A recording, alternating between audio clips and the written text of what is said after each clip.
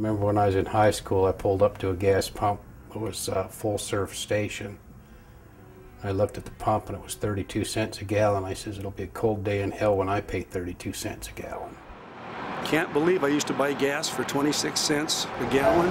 Gas is really expensive. It's amazingly expensive. I don't enjoy filling up my car. I probably would have bought a different car. It sucks that I have to pay so much.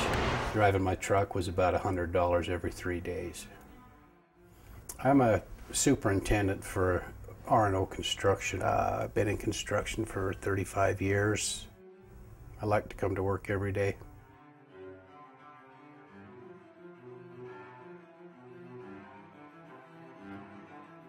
Everything really revolves around oil, from getting products here to getting concrete here. Last year, we had a bid to do an asphalt parking lot. From the time they bid it to the time they actually put the asphalt in, the asphalt went up 20%.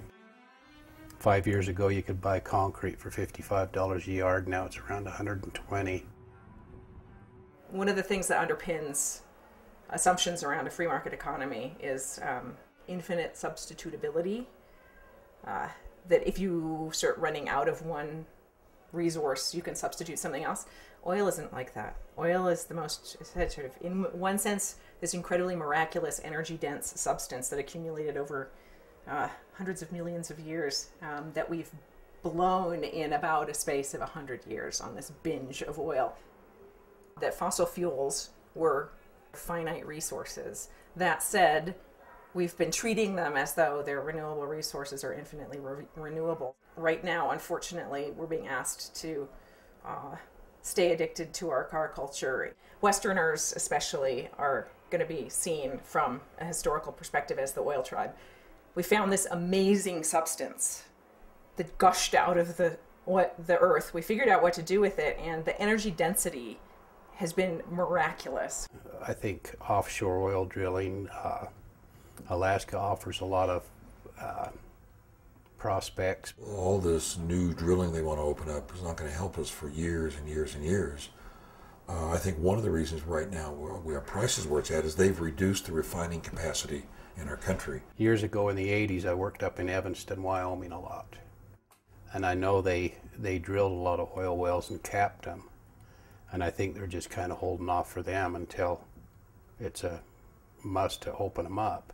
If those wells are capped, either it's really still not economical to tap those, that the last remaining resources are really essentially unobtainable, or the second, if it costs more than the energy in a barrel of oil to raise a barrel of oil, it's a losing battle from an energetic standpoint, separate from a dollar value.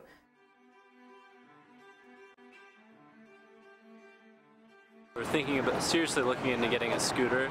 Right now, I'm, I'm riding a little 1974 moped, Vespa moped. Gets 180 miles a gallon. There is not good public transportation because the United States hasn't done a good job. I, uh, I parked my GMC truck and I'm driving a Toyota Camry.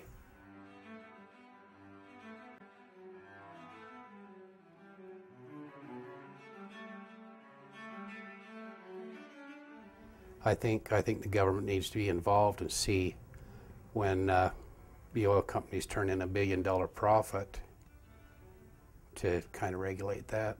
We really need to support uh, policies that especially help the most vulnerable amongst us, the elderly, low income, people that are really truly dependent. Um, when we start seeing things like Meals on Wheels programs being cut back because our public agencies can't fund the fuel for those fleets or volunteers can't afford to put fuel in their cars, we're really facing some pretty critical issues.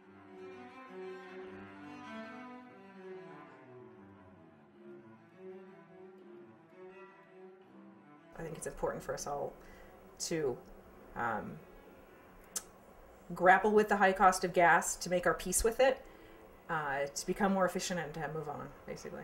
If the if the fuel would level out and let everybody kind of know the price that it's going to be, I think everybody could kind of get used to that instead of having it go up every other day.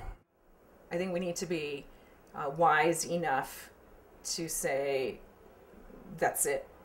There's there are sacred things on this planet that are more important than driving our SUVs down to the last possible drop. You know, I want to put the nail in that coffin of the SUV and have it stay closed, but we'll see.